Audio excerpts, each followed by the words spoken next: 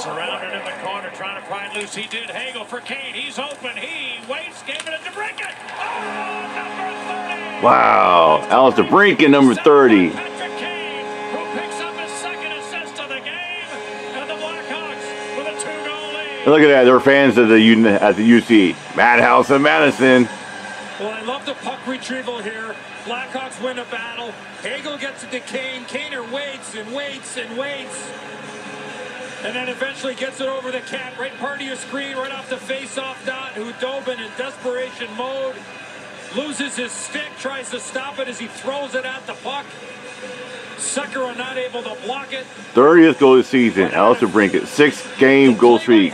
Seven total. Play by Kane and the Yeah, and assist was Patrick Kane. to Brinket, Pat. I look at that play and go, to me, what I love the most is that they won a battle in the corner. It was the retrieval. Only two games tonight. They got it, popped it out, and put it into the back of the net. I'm looking forward to this one for a while. Because their fans back. Love on that goal. And by the way, I hope here's a stop shot by Kiviranta, and Lankinen able to handle it. I hope our fans noticed the great graphic that Dave Ross just put up a moment ago. Because we didn't even have time to mention that's goals in six straight games for Alex DeBrincat.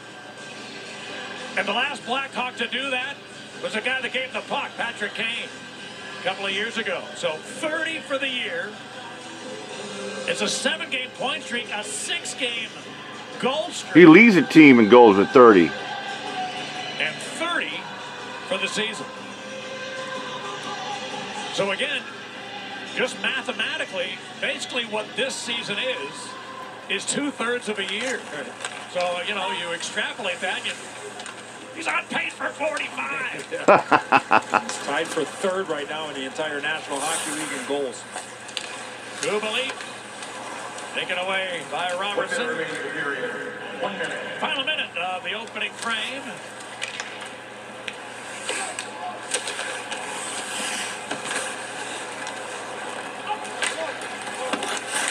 Heiskanen pressured by Hagel. Kubalik got in, tried to center. That's picked off. The Star is able to get out.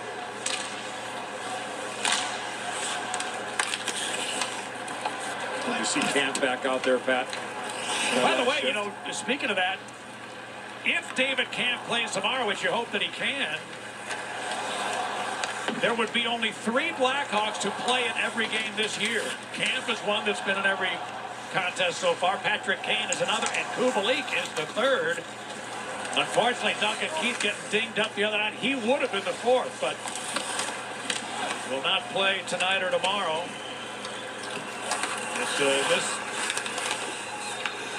unusual season where games just jammed in 56 in 116 days.